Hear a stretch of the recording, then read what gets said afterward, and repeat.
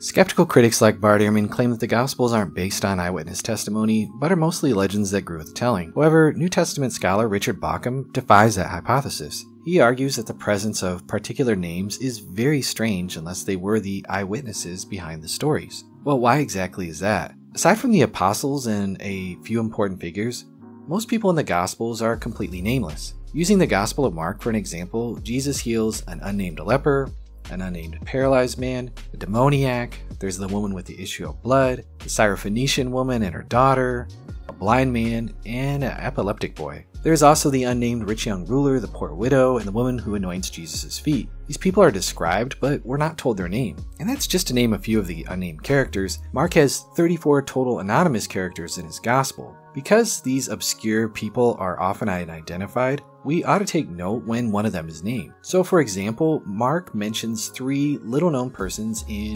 1521. He writes, And they compelled a passerby, Simon of Cyrene, who was coming in from the country, the father of Alexander and Rufus, to carry his cross. These names seemingly just come out of the blue, and they don't appear anywhere else in Mark. Matthew and Luke mention Simon, but they don't mention Alexander or Rufus. So, what exactly is going on here? The early church fathers unanimously said that Peter's preaching in Rome was the basis for Mark's gospel. Peter goes missing after Mark 14, so how exactly would Peter or Mark know who carried Jesus' cross? Richard Bauckham argues that the source would have had to be Simon of Cyrene himself, and the mention of Alexander and Rufus implies that Mark's readers knew who they were. If Mark was writing in Rome, then it's very plausible to assume that the church had heard the story from the two sons themselves. I mean, think about it for just a second. What two sons wouldn't want to brag on their dad, the one who carried Jesus' cross? Neither Matthew nor Luke mention the two sons, so we could expect that their readers, areas besides Rome, wouldn't have been familiar with them. Now, let's look at Romans 16:13. It reads,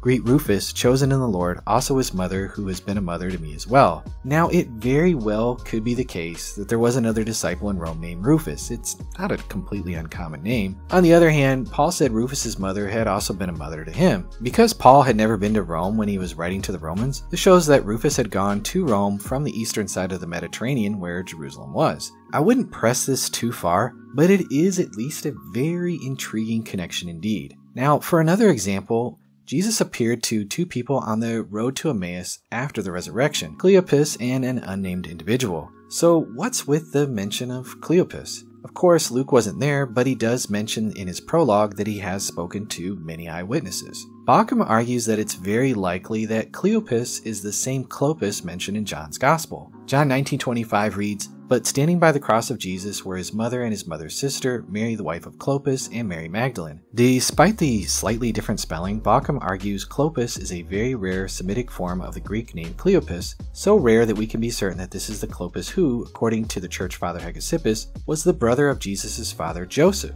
Oh, so Cleopas was Jesus' uncle. The church historian Eusebius quotes Hegesippus, a Jewish convert who wrote around 140 AD. Referencing Hegesippus, Eusebius wrote this about Clopas. After the martyrdom of James and the conquest of Jerusalem, which immediately followed, it is said that those of the apostles and disciples of the Lord that were still living came together from all directions, with those that were related to the Lord according to the flesh, for the majority of them were also still alive, to take counsel as to who was worthy to succeed James. They all, with one consent, pronounced Simeon, the son of Clopas, of whom the Gospel also makes mention, to be worthy of the episcopal throne of that parish. He was a cousin, as they say, of the Savior, for Hegesippus records Clopas was the brother of Joseph. Now, we know from Acts that James was a leader in the Jerusalem church, and both Josephus and the Epistle to the Galatians tell us that he was Jesus' brother. According to Hegesippus, Simeon was Clopas' son and was Jesus and James' cousin who replaced James after his martyrdom. So we can get why Cleopas' testimony would be such a big deal in the Jerusalem church. Finally, as a last example, the Gospels are full of accounts of healings and exorcisms. There's a handful of stories of people that were raised from the dead, but the only recipients of the miracles who are named are Jairus, Bartimaeus, and Lazarus. And while we don't have their specific accounts, Luke 8 2 through 3 tells us that Mary Magdalene, Joanna, and Susanna were women who were cured of evil spirits and infirmities. With Jairus and Bartimaeus, we again see a character mentioned by Mark, but their name is omitted in one or both of the other synoptic writers. So Luke names Jairus, but neither Luke nor Matthew names Bartimaeus. Mark's audience were probably familiar with these two while they were unknown where Matthew or Luke were writing.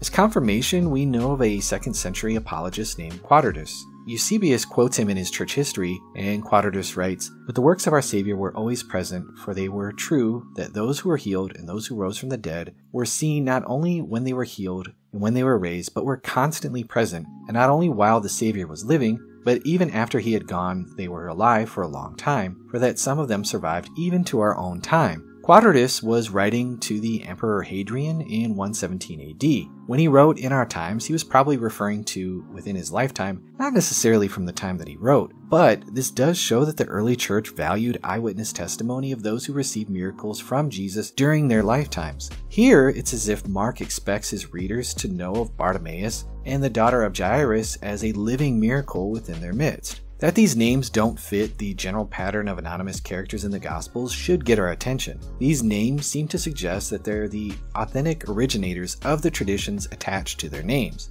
This shows that the Gospels are based on eyewitness testimony, and this isn't as well explained by saying they're just merely legend.